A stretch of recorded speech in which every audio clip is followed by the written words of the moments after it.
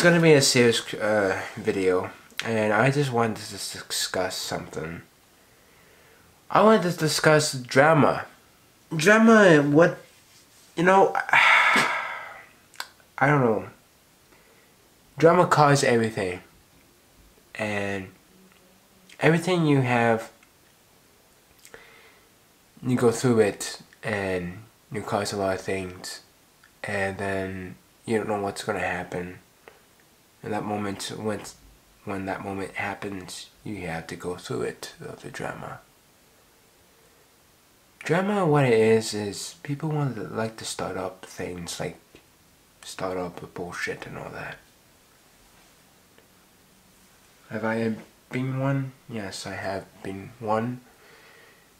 People just want to make it so good of themselves and make it so they can take control and try to think who they are and all that. When I when you think about drama, stay as possible away from it because you never know what's going to happen. When you look at the drama, what things people say, it could be anything. It could be everywhere. Like, it could be everywhere, like, on social media, it could be in real life. Try, stay away from it as possible. Because when you get into it, you, you just, you felt really good, but then after that, you just felt bad. They want to start up things because that's what they feel like. And that's who they are.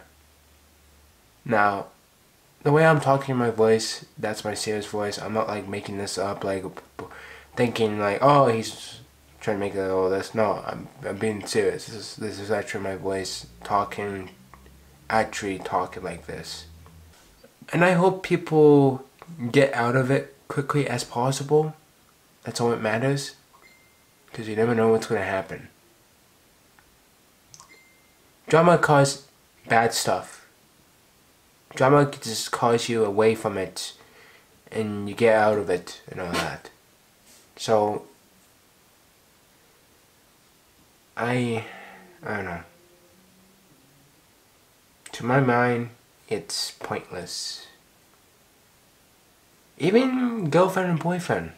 Girlfriends like to start up some things too. So keep that in mind as well. Hope you guys enjoyed this video. I hope you like it. I hope you enjoy it. And stay awesome, stay cool. And see you guys in the next video. Do Master.